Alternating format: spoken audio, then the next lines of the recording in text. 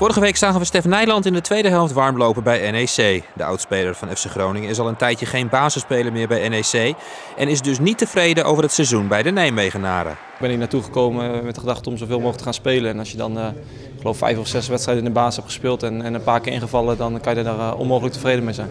Heb je al kunnen laten zien aan de trainer wat jij kunt? Ja, maar dat, is, uh, dat kan helaas op dit moment alleen weer op het trainingsveld. Want de invalbeurten die zijn vijf of tien minuten nu steeds. En ik zat graag een keer ja, vanaf de start willen laten zien of, uh, of, of, eerder invallen. En dat zit er tot op, tot op dit moment nog niet in.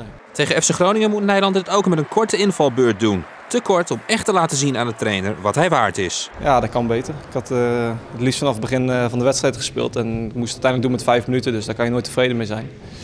Maar goed, nou ja, we hebben in ieder geval gewonnen. En ik, ik ga gewoon knokken om, om een plaats te, te krijgen in het elftal weer. En we zullen zien of dat de rest van het seizoen gaat lukken. Voor Nederland was het duel tegen FC Groningen weer een weerzien met zijn oude ploeg. Hoe kijkt hij tegen het huidige FC Groningen aan? Het is toch wel apart dat het verschil tussen thuis en uit dan, uh, dan toch zo groot is. Want ze hebben gewoon heel veel kwaliteit denk ik op het veld staan. En uh, ja, we hebben ze denk ik op de goede manier bestreden vandaag. Dus het was uh, meer dan verdiend de overwinning voor ons. En voor Groningen hoop ik dat er volgende week een thuiswedstrijd op de, op de planning staat. Maar dat weet ik eigenlijk niet. Feyenoord uit. Feyenoord uit, maar goed. Dan wens ik succes uit bij Feyenoord.